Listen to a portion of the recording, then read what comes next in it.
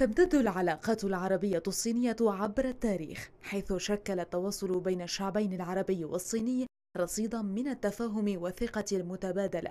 ويعد هذا المنطلق من أولى الآليات التي أنشئت ضمن إطار منتدى التعاون العربي الصيني والذي انطلق فعاليات مؤتمر رجال الأعمال في سياقه في الرياض بمشاركة سورية. شهدت الفترة الأخيرة إحراز تقدم لافت نحو تحقيق سوق عربية مشتركة. وهو أمر من شأنه زيادة تدفق الاستثمارات الأجنبية المباشرة للاستفادة مما تتيحه تلك المنطقة من مزايا وفرص واعدة.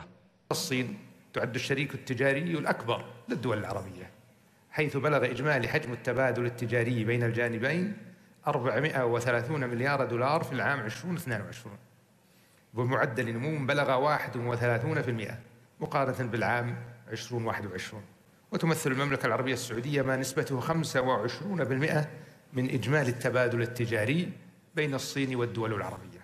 تكتسب الدورة العاشرة للمؤتمر أهمية متزايدة في ظل ما يشهده الوضع الدولي من أحداث سلبية أدت إلى تباطؤ الاقتصاد العالمي ويتوقع أن يشهد المؤتمر توقيع عقود في قطاعات الطاقة والاتصالات وتكنولوجيا الطاقة الخضراء.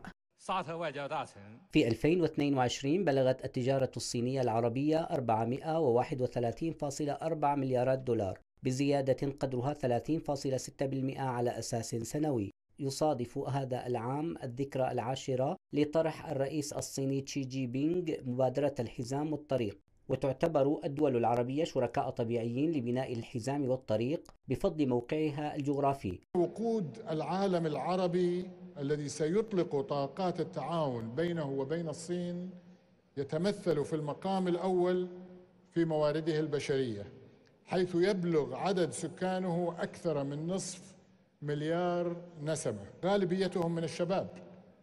كما يكمن في الناتج المحلي الإجمالي للدول العربية الذي الذي يصل مجموعه إلى ثلاثة تريليونات وخمسمائة مليار دولار. تجدر الإشارة إلى أن هذه الفعالية التي انطلقت تحت شعار التعاون من أجل الرخاء والتي تستضيفها المملكة العربية السعودية لأول مرة بالتعاون مع جامعة الدول العربية والمجلس الصيني لتعزيز التجارة الدولية واتحاد الغرف العربية.